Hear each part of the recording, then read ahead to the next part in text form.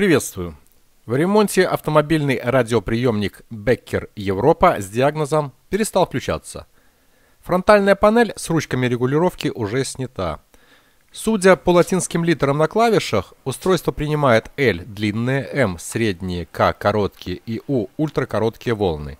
Оно оснащено моноусилителем с разъемом для подключения только одного динамика или одной колонки – на крышках сверху и снизу есть гравировка по-английски, сделана в Германии 12 вольт, минус на шасси с AFC, то есть с автоматической подстройкой частоты. Приемник был штатным в автомобилях немецкого производства начала 1970-х годов, в частности Mercedes. Замеряю сопротивление между контактами, на которые подается питание от клеммы зажигания, чтобы убедиться в присутствии неисправности. Включаю радио поворотом левой ручки со щелчком. Мультиметр DT9205A сигнализирует о коротком замыкании плюса питания на корпус приемника. Принципиальной схемы у меня нет, но усилитель построен на двух германиевых транзисторах AD156 и AD157, подключенных по двухтактной схеме. Вот примерная принципиальная схема усилителя. Таким образом, они усиливают каждый в свой полупериод положительную и отрицательные волны синусоидального сигнала.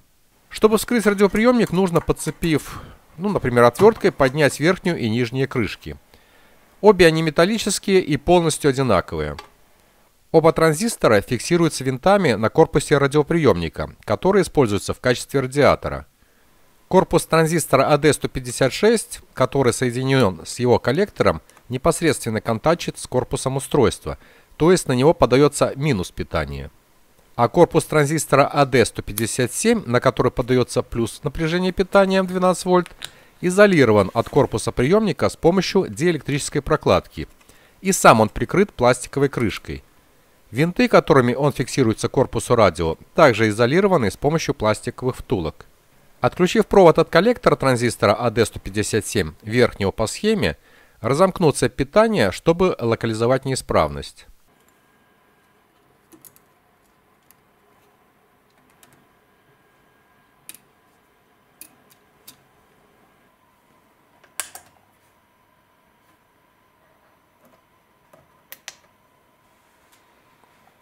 Теперь включаю радиоприемник и наблюдаю подсветку шкалы настройки, поэтому делаю вывод о неисправности оконечного каскада усилителя мощности или транзисторы по какой-то причине постоянно открыты, или, что вероятнее всего, они пробиты.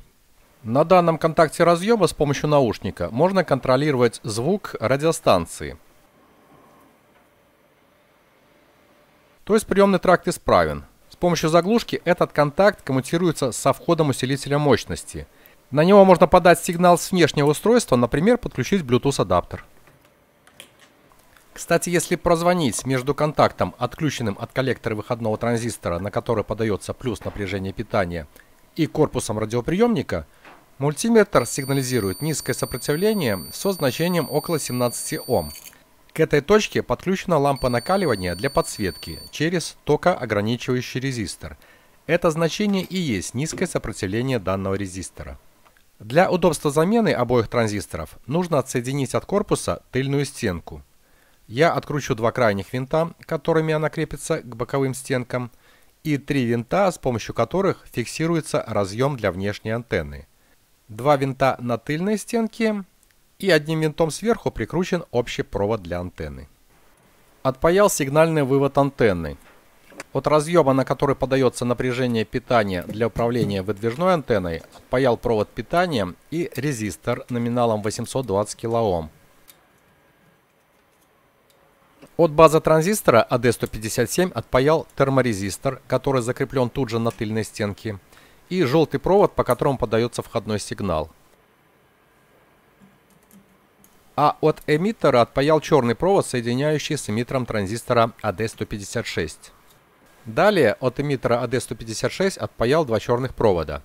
Один соединяет с эмиттером второго транзистора, а это выход сигнала. Он поступает на этот контакт платы и далее на электролитический конденсатор и уже через него на разъем динамика. Выпаял транзистор. К его базе были подключены один черный провод, это второй контакт терморезистора, и провод в черной оплетке с зеленой полосой. Эта обратная связь поступает на средний контакт этой платы. Также между базой и корпусом был впаян такой конденсатор емкостью 47 нанофарад. Транзисторы AD156 с PNP проводимостью и AD157 с NPN проводимостью представляют собой комплементарную пару. Они схожи по параметрам, но имеют отличные друг от друга тип проводимости. Мультиметр показывает короткое замыкание между коллектором и эмиттером у обоих этих транзисторов. Германиевые транзисторы в наши дни редкие. От них отказались в пользу кремниевых, поэтому цена на них высокая. Хотя если оценивать стоимость исправного радиоприемника в приличном состоянии на вторичном рынке, вот, вот, вот, то вполне можно раскошелиться на них. Устанавливать буду их менее мощные аналоги, соответственно AD162 и AD161, которые выпаял из рабочего автомобильного радиоприемника донора. Транзистор-тестер определяет их проводимость и цикалевку, база-эмиттер-коллектор. Оценивает коэффициент усиления потоку в схеме с общим эмиттером. Заменил транзисторы для улучшения отвода тепла, нанес термопасту. Транзистор AD161 изолировал от корпуса слюдяной прокладкой и накрываю оригинальной пластиковой крышкой. Далее восстановил соединение проводника к центральному контакту антенны с помощью винтов прикрепил этот контакт конденсатора к корпусу и общий вывод антенны. Также припаял резистор и провод с напряжением питания к данному разъему. Далее выкрутил этот винт и снял левую стенку. Под ней получил доступ к плате усилителя. Все элементы, включая регулятор громкости, размещены на ней. Только на тыльную панель вынесены мощные транзисторы оконечного каскада. Здесь обнаружил еще один пробитый транзистор типа BC328-16. У него закорочен переход база-коллектор. Таким образом, сигнал со входа поступает на его выход без усиления, которое требуется для раскачки выходных транзисторов. Тоже требуется его замена. Это маломощный транзистор PNP структуры. Менять буду на аналог BC327-40.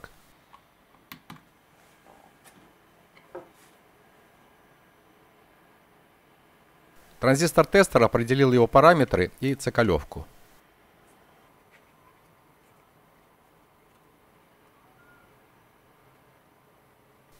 С помощью оплетки демонтировал неисправный транзистор.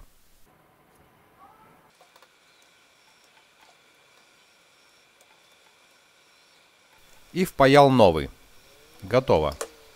Прикрепил на боковые винты тыльную панель и левую стенку радиоприемника и с помощью защелок зафиксировал нижнюю и верхнюю металлические стенки. Итак, подаю питание и включаю автомобильный радиоприемник Becker Европа. Имеется подсветка, это хороший знак. Теперь проверяю работоспособность радиоприемника.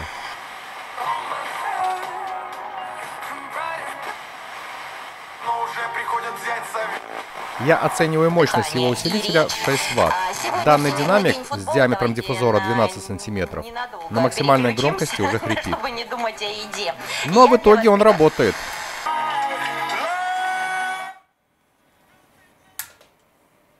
Все фото этого немецкого устройства по ссылке в описании видеоролика. Я благодарю вас за просмотр и вашу оценку. Всего наилучшего. Пока.